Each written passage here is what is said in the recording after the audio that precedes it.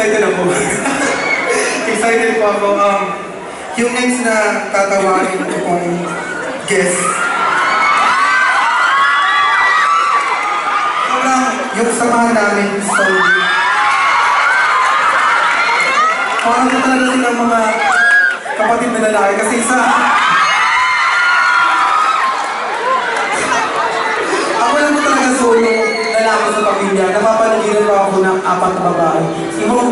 mama ko bakit babae ang anak pinangalan. so, I feel so happy na I can call them my brothers. May capital S sa dulo. Um, di ko na po patatagalin. Mahal na mahal ko yung dalawang to. Please, welcome, Mr. Daryl O.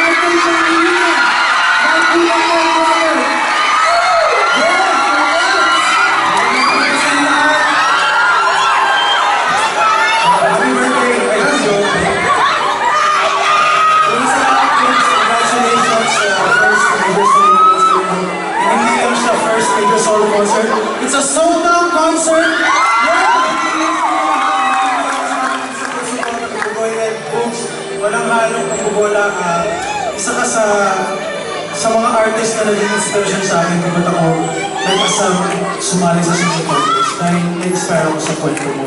And uh, sobrang happy ko as a friend and as a fan na alam ko, ang sabi ko, para, para sa akin po, long overdue na tong concert na to. Ang dami mo lang napatunayan sa paano na kaya hanggang hindi lang dito sa Pilipinas, kundi sa ibang bansa. And uh, sobrang, sobrang happy ako para sa iyo na dumating na to. And sigurado ako na Madami pa madami pang susunod. Madami pang susunod. Hindi lang dito sa Pilipinas, kundi sa ibang bansa. Eh, ako, ako masasabi ko lang po kay Buboy, kung alam niyo lang, kung ano yung nangyayari kay Buboy, sobrang, believe na believe ako sa tao ko kasi pag nagpe-perform siya, parang buong buhay niya. Hindi yung, yung parang napakanta ka lang or nag-iisa ka lang kumanta. Pero nagagaling, simula sa paa hanggang sa buhok mo, nilalabas mo yung uh, talent na binigay sa'yo ni Lord. Alam ko marami pang mangyayari sa'yo at uh, andito lang kami mga kapatid mo para sa'yo. And uh, pasalamatan din natin ang wish dahil binigay yung ganito mga talent sa'yo ngayon.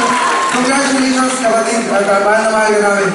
Thank you, Mom. Let's go. I love you guys. Pero, may mga question din dito eh. Paano ba nagsimula ang Raw ba nagsimula ang Budagan? Uh, actually, ano ba? Actually po, ano, ano po yan? Um, Nung nag-guest po kasi kami sa Showtime, actually yung show lang na yun, cancel. Tama ba ako? Nasa nga natin yung... Okay lang. You know, yung, yung, sige na nga. Nag-pressure lang ako sa'yo kasi ikaw yung fresh. Sira?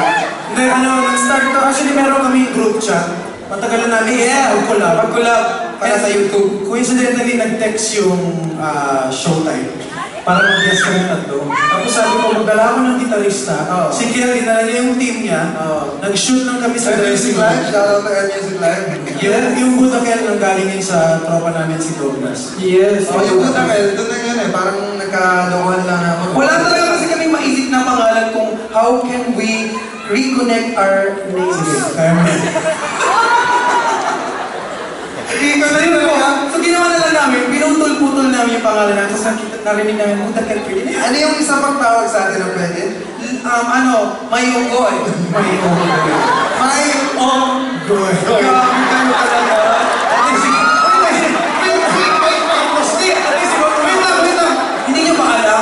When I'm in out of the country, they look for me.